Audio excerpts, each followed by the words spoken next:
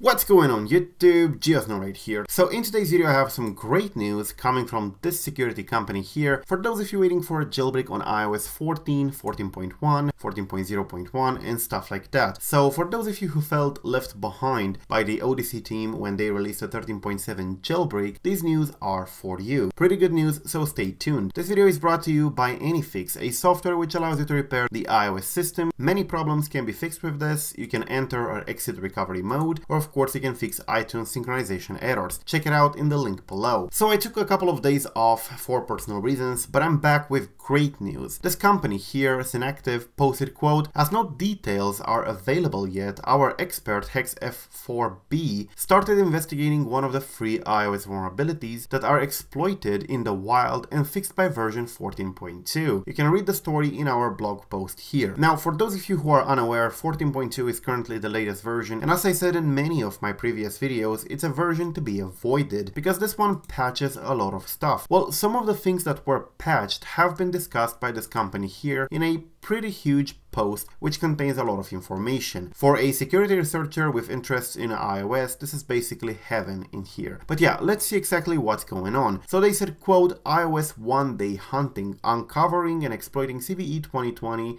to 7950 kernel memory leak. So already we know that this is not going to provide TFP0, but there is a problem with TFP0 anyways. As of iOS 14, getting TFP0 is a little bit close to impossible, so we're going to have to find a different way to exploit the kernel for jailbreak purposes. Yes, iOS 13 is way, way different compared to iOS 14 in terms of jailbreaking. We will need some new strategies for the iOS 14 jailbreak, and I'm talking here about the, uh, you know, Odyssey or the Unc0ver ones and stuff like that. The checkra1n, not a lot changes because it uses a bootrom exploit so the kernel can be pwned, and therefore a lot of security features Apple adds are basically just a hurdle that can be passed. So no problem on the checkra1n side. However, with the Odyssey and the Unc0ver, we do need actual kernel exploits with read and write privileges, so that's a little bit harder to do. Not impossible, but as of iOS 14, especially 14.2, it's a little bit harder to do. So it's a good idea to stay on 14.1, 14.0.1, 14.0 and avoid 14.2. But I'm pretty sure many of you will tell me that Unc0ver is basically dead. Well, they don't seem very dead at this point. Yes, they were not tweeting anything for months, but a couple of days ago they posted this, quote, we're going to release Substitute 2.0.0 with unprecedented app loading speeds for Unc0ver and checkra1n jailbreaks from iOS 11 to 14 using newly designed tweak injection system that allows loading a big number of tweaks for ultimate customization with minimal overhead very soon. So while they're not working on Unc0ver for iOS 13.7 by the looks of it, Unc0ver is still stuck at 13.5 while Odyssey supports basically 13.7 and lower, they seem to be focusing on the substitute, which is basically their tweak injection mechanism. Pretty cool, it means that the team hasn't abandoned the Unc0ver yet. Well, what has been described in here is definitely usable for a jailbreak, but not alone. We still need TFP0 or something that can grant us kernel read and write privileges. While this is something interesting and can be chained,